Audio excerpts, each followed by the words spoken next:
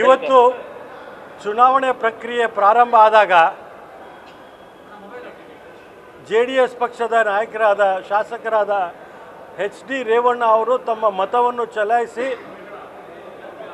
ಆ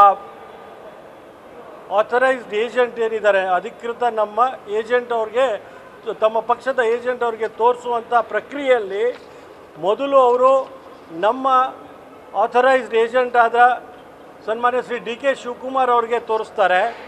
ತದನಂತರ ಅವರ ಜೆ ಡಿ ಎಸ್ಸಿನ ಆಥರೈಸ್ ಏಜೆಂಟ್ಗೆ ಆ ಏನು ಮತದಾನದ ಪಟ್ಟಿಯನ್ನು ಅವರು ಚಲಾಯಿಸಿದ್ದು ಅದನ್ನು ತೋರಿಸ್ತಾರೆ.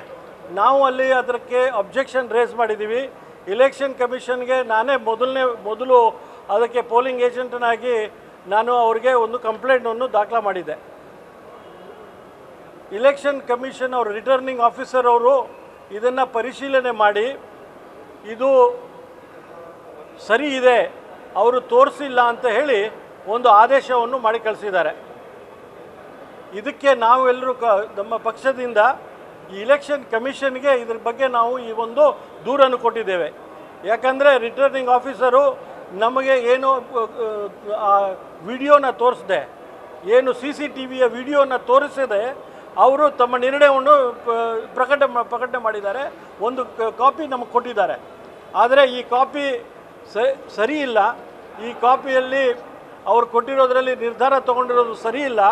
ಚುನಾವಣೆಯ ರೂಲ್ಸಿನ ಪ್ರಕಾರ ಅವರು ತಗೊಂಡಿರೋಂಥ ಏನು ಕ್ರಮ ಇದೆ, ಅದು ಸರಿ ಇಲ್ಲ. ನಾವು ಎಲೆಕ್ಷನ್ ಕಮಿಷನ್ಗೆ ಏನು ರೇವಣ್ಣ ಅವರು ಹಾಕಿರೋ ಮತದ, ಮತ ಇದೆ, ಅದನ್ನು ಇನ್ವ್ಯಾಲಿಡ್ ಆಗಿ ಮಾಡಬೇಕು ಅಂಥೇಳಿ ನಾವು ಈಗಾಗಲೇ ಅವ್ರಿಗೆ ಒಂದು ದೂರನ್ನು ಕೊಟ್ಟಿದ್ದೇವೆ.